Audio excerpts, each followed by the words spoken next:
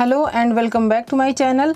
मैं हूँ आभा और आज मैं आप सबके साथ शेयर करने वाली हूँ कॉर्न की रेसिपी, जो कि बहुत ही कम तेल में बनी है और बहुत ही हेल्दी ब्रेकफास्ट है। लेकिन रेसिपी को शुरू करने से पहले, अगर आपने अभी तक मेरे चैनल को सब्सक्राइब नहीं किया है तो प्लीज़ इसे कर लें और साथ में एक छोटी सी घंटी आएगी, उसे भी प्रेस कर दें, जिससे कि मेरे आने वाली वीडियो की नोटिफिकेशन आपको मिलती रहे। तो चलिए वीडियो को स्टार्ट करते हैं। इसके लिए सबसे पहले हमने यहाँ पर एक मिक्सिंग बोल में डेढ़ कप सूजी लिया हुआ है। सूजी मोटी या फिर महीन कोई भी ले सकते हैं। और इसके साथ ही साथ यहाँ पर मैंने थ्री फोर्थ कप दही लिया हुआ है।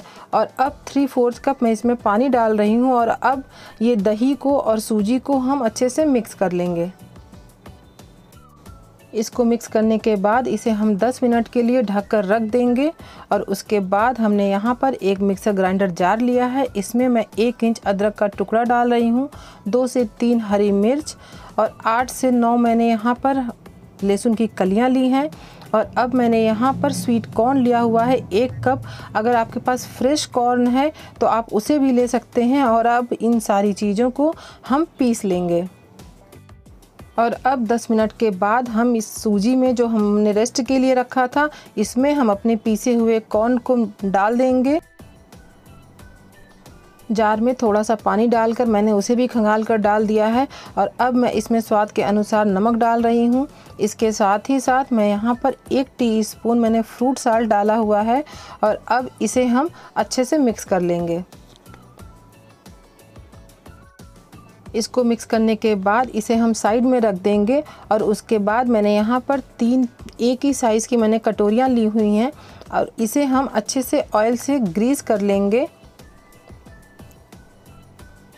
और इसको ग्रीस करने के बाद जो बैटर मैंने बनाया हुआ है, वो बैटर इसमें हम डाल देंगे। इसमें आधी कटोरी से कम ही बैटर डालना है। और लगभग वन फोर्थ कटोरी मैंने यहाँ पर बैटर डाला है।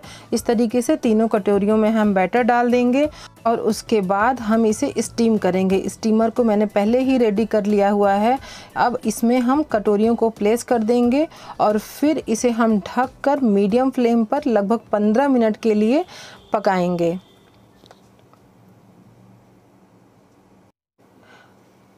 पंद्रह मिनट अब हो चुके हैं, मैं इसके कवर को हटा रही हूँ और अब चाकू से हम इसे चेक कर लेंगे और ये अगर पक गया है तो हम इसको फिर डीमोल्ड कर लेंगे। यहाँ पर मैंने कटोरियों को थोड़ी सा ठंडा कर लिया है और अब इस तरीके से चाकू की हेल्प से हम इसको किनारे किनारे चाकू लगा देंगे और इसे प्लेट में डीमोल्ड करेंगे। इस तरीके से हम ऊपर से थोड़ा सा टैप कर देंगे तो ये बहुत ही ईजिली हमारे नाश्ते निकल आएँगे, ये देख लीजिए आप कितना आसानी से हमारा ये नाश्ता निकल रहा है।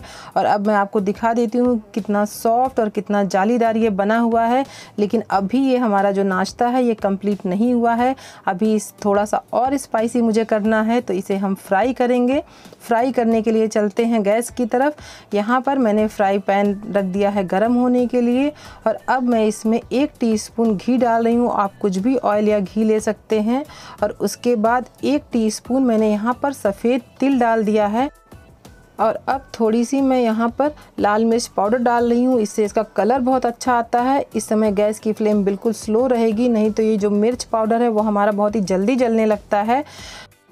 और अब हम इसे एक मिनट तक इसी तरीके से चारों तरफ़ घुमा घुमा कर सेक लेंगे और उसके बाद एक साइड से सेकने के बाद हम इसे एक साइड में कर देंगे अपने नाश्ते को और फिर से मैंने यहाँ पर एक टीस्पून घी डाल दिया है और साथ ही साथ थोड़ा सा तिल और थोड़ा सा लाल मिर्च पाउडर भी डाल रही हूँ और फिर से इसे हम मिक्स करके इसको दूसरी साइड में भी स्लो फ्लेम पर एक मिनट के लिए इसे सेक लेंगे। फ्रेंड्स, इसे हम दोनों साइड से एक एक मिनट के लिए थोड़ा सा तिल और मिर्च डालकर सेक लेते हैं। इससे ये देखने में भी बहुत खूबसूरत लगता है और डेफिनेटली खाने में भी बहुत अच्छा लगता है। और अब हम इसे सर्व कर लेते हैं। तो फ्रेंड्स, आप इस रेसिपी को एक बार ज़रूर ट्राई करिएगा क्योंकि ये बहुत ही हेल्दी ब्रेकफास्ट रेसिपी है और बहुत ही जल्दी और कम इन्ग्रीडियंट से बनने वाला है। तो फ्रेंड्स, अगर आज का ये वीडियो आपको मेरा पसंद आया है तो मेरे इस वीडियो को लाइक करिए, मेरे चैनल को सब्सक्राइब करिए और बेल आइकन को ज़रूर प्रेस करिए ताकि मेरे आने वाली वीडियो की नोटिफिकेशन आपको मिलती रहे। Thank you